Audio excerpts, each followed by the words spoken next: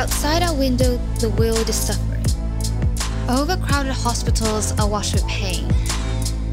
Difference met with disdain. We hear the cries of Mother Earth. We are her children you can't silence. She will hear our poem for her forests, our song for her oceans. Together, our call will be a thunderstorm. We are never too young nor too small. Racism, discrimination, inequality, ascend them all. Masked but not muted, me and you. Together we'll reimagine the world because this is our way. This is our planet. This is our day. A kid is just a kid, they say. But when the world opens its eyes, it will see us for who we are.